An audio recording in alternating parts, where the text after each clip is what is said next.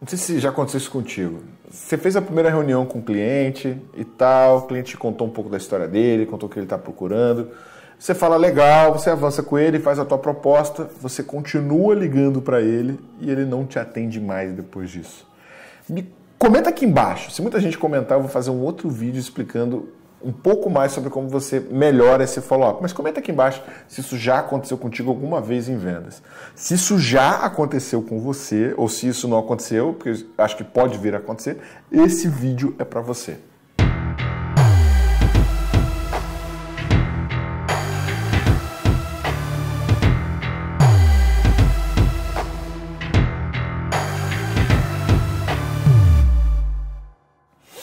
O que, acontece, gente? Um ponto muito importante dentro do processo de vendas, dentro do teu processo de atendimento comercial, seja você um gestor que precisa treinar o teu time, seja você um vendedor, é você entender que arrancar o não do cliente é responsabilidade sua. Tiago, tu tá maluco, Tiago? Como é que eu vou arrancar o não do meu cliente? Eu quero fechar negócio. Vamos entender alguns pontos muito importantes que estão te fazendo deixar dinheiro na mesa e perder energia no lugar errado.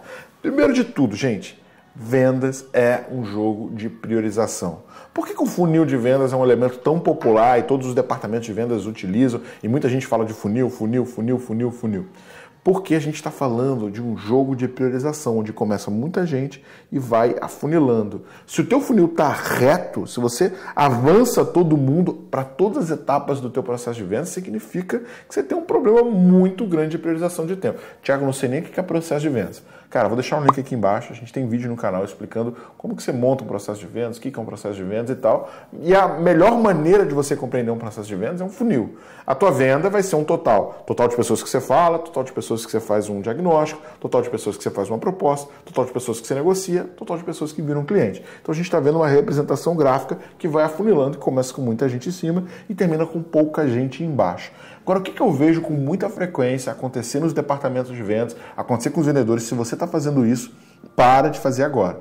O que, você faz? Você faz uma reunião genérica, você não bate nas dores do teu cliente, você não desce na profundidade da necessidade, você não tem nem resposta do porquê que esse cara está falando contigo, faz uma proposta genérica, porque você não entendeu o problema dele, e no final fica fazendo um follow-up eterno. Sabe o que, que acontece? Primeira coisa que você tem que entender: os latinos, a gente tem um hábito de não querer dar notícias ruins. A gente não gosta de fazer perguntas difíceis, de discutir problemas delicados. A gente gosta de ser querido. E quando chega uma pessoa e fala assim: olha só, eu não vou comprar, tá? Muito obrigado. Tem a chance da pessoa da outra ponta se magoar. E aí é um hábito social nosso falar: não, Tá bom. O que, que, acontece? Você mesmo. Quando alguém te faz uma proposta de alguma coisa, por mais que você não vá comprar, o que, que você faz? Obrigado. Vou pensar, vou dar uma olhada. Para quem trabalha, é, quem nunca fez isso numa loja de shopping, você entrou, analisou, ah, tá bom, vou dar mais uma voltinha, né? Quando que você voltou depois dessa voltinha? A gente tem esse hábito de não encerrar a negociação. A gente simplesmente foge ou desaparece. O que, que você tem que fazer? Você tem que dar a notícia ruim para a pessoa. Né? E aí você como vendedor, qual que é o teu papel? O teu papel é arrancar esse não do teu prospect. Tá? Então, primeiro de tudo, qualificação. Essa empresa tem perfil e tem capacidade para me comprar? Eu só vou conseguir qualificar fazendo perguntas difíceis. Então eu preciso ter um bom diagnóstico durante a minha primeira reunião para entender. O cara tem porte para comprar, o cara tem prioridade, o cara tem uma dor, o cara tem uma necessidade real de contratar o meu produto e meu serviço? Beleza, qualifiquei. Tiago, como é que eu sei se eu estou errando nisso ou não? Simples. Você vai olhar no, dentro do teu funil de vendas. Duas coisas. Primeiro, o teu funil ele tem que ter é, a, a, primeira etapa tem que ter uma taxa de conversão menor do que a segunda, que é menor do que a terceira, que é menor do que a quarta. O teu funil tem que ter um, ter um comportamento semelhante ao de uma escada, onde a próxima etapa sempre tem, tem mais conversão. Por quê? Porque no início você tem que ser muito criterioso, só passar quem realmente está qualificado, e no final você tem que ter uma alta taxa de conversão, porque é muito caro fazer reunião, fazer proposta, fazer follow-up, e no final fica lá acompanhando até fechar negócio. Então a tua última etapa tem que ser a etapa que tem a maior taxa de conversão. Estudos mostram tá, que a tua média de proposta enviada para fechamento de negócio tem que ser superior a 50%. Se você não está com 50% de conversão da tua etapa de proposta para frente, significa que você colocou proposta cedo demais ou que você está distribuindo proposta. Como vendedor, o teu trabalho não é distribuir proposta. O teu trabalho é fechar vendas. Então, se você hoje está distribuindo proposta, você está executando isso errado. Nossa, Thiago, você está pegando pesado, hein? Não, cara. O teu trabalho é entender necessidade, apresentar solução, negociar fechamento e trazer esse novo cliente para dentro de casa. O teu trabalho é ajudar o cara a ir mais longe, a ter mais sucesso. Se você não está fazendo isso hoje, você está deixando dinheiro na mesa e você não está cumprindo da melhor forma como você poderia o teu desafio de ser alguém do comercial. E se você é gestor e está deixando o teu time fazer isso, você está delegando de uma maneira errada, você está delargando o teu time em vez de ajudar ele a ter mais resultado. Beleza, Thiago, eu entendi que isso está errado. Como é que eu mudo isso dentro da minha empresa? Primeiro de tudo, você tem que entender que as pessoas só compram por três motivos. Não tem outra forma de, de você fechar uma venda B2B que não seja por um desses três motivos. Uma empresa compra para ganhar mais dinheiro, trazer mais receita, mais faturamento perder menos dinheiro, gastar menos, reduzir custos, ter mais eficiência, ter mais economia e, por último, correr menos risco. Tá? Pô, ser atuado, de sofrer um processo, ter algum, algum ponto que pode vir a trazer um dano muito maior pelo fato dela não estar gerenciando da maneira correta. Então, toda vez que você estiver falando com alguém, você tem que entender: eu consigo gerar algum desses três valores? Por qual motivo essa pessoa veio falar comigo, qual que é o problema que está acontecendo dentro da empresa dela. E a partir do momento que eu entendi qual que é o problema, eu entro para o próximo passo, que é mapear a prioridade. É prioridade para esse cliente, esse investimento? Pensa no seguinte, há quanto tempo você está, sei lá, para levar o teu carro para lavar, ou levar o teu cachorro para tosar, ou para fazer alguma coisa importante. Concorda que a gente tem um hábito natural de procrastinar, de ficar adiando as coisas que a gente tem que fazer? Então, o teu cliente é da mesma maneira. Aquilo que não é prioridade extrema sempre vai ficar para depois. Então, um dos pontos muito importantes é você entender o quanto que é prioridade. Eu costumo falar que tem três portas que você precisa fechar. Fechou as três portas? Vendas. Deixou uma porta aberta, tem chance de você jogar o teu tempo no ralo. Lembra, todo mundo tem 24 horas. O cara que mais vende na tua empresa, ele mais vende porque ele prioriza melhor o tempo dele. Antes de eu falar das três portas, você tem que pensar o seguinte: quem trabalha em vendas, você trabalha de graça para o cliente enquanto ele não assina contrato. E duas coisas. Primeiro, 80% de todo mundo que você fala não vai comprar nada. Tiago, poxa, cara, olha a tua taxa de conversão.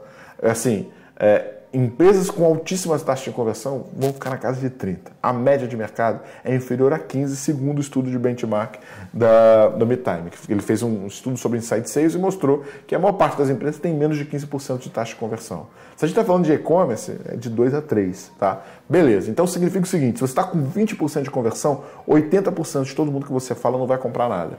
Só que o quanto você gasta de energia com esses 80% define se você bate a tua meta, se você vira a tua performance, se você entra para a história de vendas ou se você vai ser mais um vendedor que traz um resultado dentro da média, que a gente chama de medíocre. Puxa, Tiago, você está me chamando de medíocre? Medíocre não é algo ruim. Medíocre quer dizer apenas que você está na média. Agora, vamos virar esse jogo? Vamos mudar isso? Beleza. Então, primeira consciência que você tem que ter: todo mundo que você fala, 80% não compra. Segunda coisa que você tem que entender: do momento que você faz a primeira reunião até o momento que o cara assina o contrato, você trabalhou de graça. E para a maior parte das pessoas, você irá trabalhar de graça. O que você precisa fazer?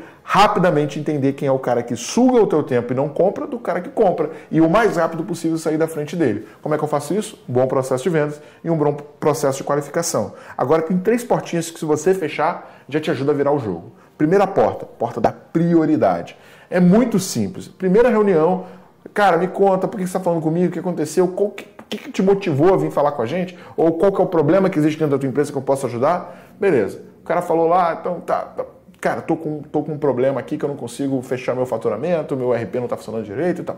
Legal, cara desce no SPIN, entende ali consequência, dores, necessidades, quanto está custando aquilo para ele e fala o seguinte: para você hoje é uma prioridade resolver esse problema? Não é você afirmar, você tem que fazer com que o cliente da outra ponta afirme. Não, para mim é uma prioridade resolver esse problema, sim. Animal, você já arrancou, fechou a primeira porta. A gente só faz aquilo que é prioridade. Se o cara falar, não, olha, cara, seria importante, mas ainda, hoje não é minha maior prioridade. O que, que você vai fazer? Muito obrigado, é, parabéns pelo trabalho que vocês estão desempenhando aí na empresa de vocês. Quando esse assunto se tornar uma prioridade, por favor, venha falar comigo. Eu estou te mandando um e-mail com aquilo que a gente conversou. E quando você imagina que essa prioridade aumenta dentro do teu negócio, aí o cara vai falar, ah, pô, daqui a seis meses, daqui a um ano, beleza, estou colocando aqui dentro do, dentro do, do meu sistema para te fazer uma ligação daqui a dois meses, daqui a três meses, para entender se esse cenário mudou. Se o cara falar mais de três meses, bota para dois meses esse novo follow-up, mas, cara, perde. O cara falou que não é prioridade. E assim, você vai fechar a porta com ele falar, ó, muito obrigado, mas eu entendo que nesse momento não é prioridade. Quando ele, volta, quando ele se tornar uma prioridade, por favor, eu quero ser o primeiro a, a que você venha falar e vou estar 100% das horas para te ajudar. Alguns clientes vão até se assustar. Vão falar assim, caramba, o cara está indo embora? É, eu só gasto tempo com quem tem prioridade. Pensa no seguinte, cara, se o teu prospect não tem prioridade com o tempo dele, você acha que ele vai ter com o teu? Se ele não respeita o tempo dele, você acha que ele vai respeitar o teu? Então, não é prioridade? Descartou. É prioridade. Você vai usar isso contra ele o resto do teu atendimento. Toda vez que ele pensar em sair, que ele fala, não, tô vendo, vou pensar, assim, cara, Desculpa, mas a gente conversou uma semana atrás ou um mês atrás e você me falou que isso era uma prioridade. Eu imagino que você não tenha muito tempo para perder, assim como eu também não tenho. Alguma coisa mudou? Deixa o constrangimento com o teu cliente. Não é você que vai ficar constrangido, porque ele tem que respeitar o seu tempo. Se ele falou que é uma prioridade, tem que ser uma prioridade. Ele tem que estar presente na reunião, ele tem que te responder. Porque lembra, do momento que você começa a atender até o momento que você fecha, você está trabalhando de graça. Então, se, se o cara não respeita o teu tempo, dropa, sai fora, não perde tempo. Então, primeira porta é prioridade, segunda porta, solução. Você fez o diagnóstico, você desceu no problema, você bateu nas dores e você mostrou a maneira como você resolve aquele problema. Cara, tá aqui, ó. Essa aqui é a forma como a gente vai resolver o teu problema. Legal, é, essa solução faz sentido para você? Você entende? Você consegue ver o teu cenário, teu problema financeiro, o problema de venda, o problema de produtividade sendo resolvido aqui? O cliente vai falar, não vejo, não vejo, estou vendo, não estou vendo, talvez esteja. Beleza, arranquei. Então, você concorda que esse caminho de solução resolve o teu cenário? Resolve. Até então a gente não falou de valor, não falamos de investimento. Estamos falando apenas da, do caminho que vai resolver o problema dele. Agora entra o último, que é justamente ah, vai, ter, vai ser uma combinação entre custo-benefício e credibilidade da tua empresa. Beleza, cara. Então é uma prioridade para o teu cliente, a solução faz sentido para ele. Agora, a última porta que você tem que fechar é: então, cara, isso vai custar tanto e quem vai prestar esse serviço vai ser a minha empresa. Ele vai fechar com a empresa que tiver a maior credibilidade e tiver o melhor custo-benefício. Fechei as três portas, eu tenho a venda. Deixei uma das portas abertas, você vai gastar tempo. Tá? E o que, você tem que pensar? Quando, quando a gente está falando de vendas, imagina que você tem 10 clientes. Desses 10, você tem 8 que não vão comprar de você, mas não te contaram isso. Fala assim, ah, vou pensar, me manda uma proposta, vou discutir aqui internamente. Agora tem dois que estão hiper engajados, que tem uma chance muito grande de comprar o teu produto e a tua solução. Só, só, só, só que, sabe o que acontece? Esses dois aqui, você liga para eles, eles te atendem na hora. Você manda o WhatsApp, o cara te responde. Eles estão com uma dor, estão com prioridade e viram a solução dele contigo. Então você ele te dá um nível de atenção muito maior. Esses outros oito, meu irmão, você liga, o cara só está em reunião, você manda e-mail, o cara não te responde. Você, cara, faz tudo, você gasta três vezes mais energia para falar com ele e não consegue falar com ele. Só, só que sabe o que acontece? Como você está distribuindo a tua atenção entre os 10 da maneira da mesma forma, esses dois aqui que estavam fechados, um deles recebeu um pouquinho mais de atenção do teu concorrente. E aí ele entendeu que lá é uma solução melhor do que a tua. Então você não só não fechou nenhum dos não fechou os 10, como os dois que estavam ganho, um deles você perdeu. Você acabou trazendo só uma venda. Então assim, cara, acordo que tu vai fazer comigo agora, comenta aqui embaixo eu vou valorizar o meu tempo e não vou gastar energia com quem não tem prioridade. Eu vou valorizar o meu tempo e não vou gastar energia com quem tem prioridade. Porque é isso que faz você chegar na alta performance. Tiago, como é que eu melhoro meu processo de vendas? Então, vou deixar o link aqui embaixo. Sales Model Canvas é um curso gratuito onde eu ensino a montar um processo de vendas rapidamente, usando colaboração com uma folha zero, que é o que é o Sales Model, Sales Model Canvas, que é o nosso template para a construção de processo de vendas de maneira colaborativa. Outra forma que você pode fazer é ir lá no meu Instagram, meu Instagram vai aparecer aqui agora, tiago.reis.gm, eu compartilho conteúdo diariamente sobre insights, estratégias de como você melhora o teu processo de vendas e como você melhora tanto a gestão do teu time comercial do que quanto você melhora como vendedor. É isso aí e vamos para cima.